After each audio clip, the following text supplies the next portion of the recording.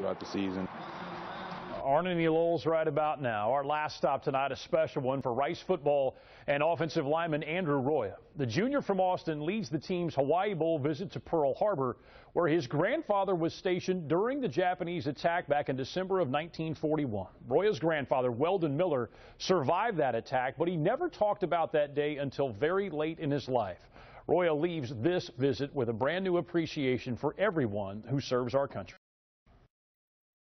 can feel, especially once you get out on the memorial, you can feel there's just a different presence, and it's uh, very sobering, and uh, just remembering everyone that's died and served.